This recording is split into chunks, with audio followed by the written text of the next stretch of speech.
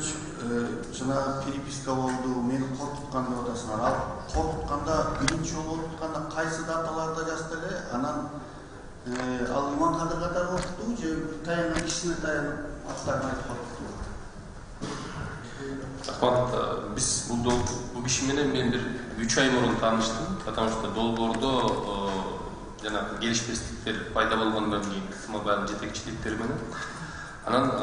жанагы катты болсо бир бир жарым ай мурун эки ай мурун жөнөткөн бул боюнча мен өзү менен да сүйлөшкөм бирок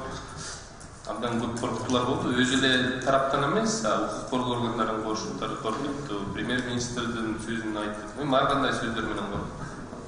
мындай комиссия менен айтып беребиз эми мен ойлойм ошол коркутууган ким жөнүндө айтылган болсо ошону да карашыбыз керек да анан эң негизгиси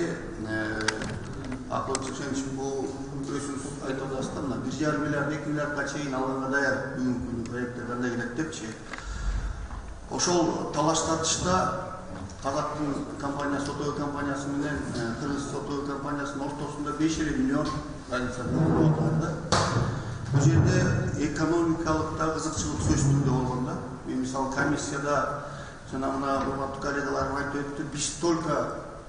туугандардын келиши же тигүү деген нерсе эмес экономикалык кызыкчылык жагында карашыбыз керек да себеби бул жерде ушул жакшы идеяны башынан жаманаттуу кылып жокко чыгаруу деген да ой болушу мүмкүн да и ал жерге кызыктар болгон экономикалык кызыкчылык болгон чоң компаниялар бар экенин билебиз да маалыматтарга эмнеден улам чыгып атканын билишибиз керек да анан баягы жалгыз эле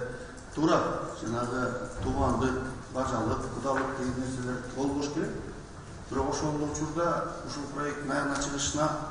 комиссия менин оюмча могул ишти итогун чыгарып аткан кезде комиссия ошол жагын дагы токтоп чыгарышыбыз керек рахмат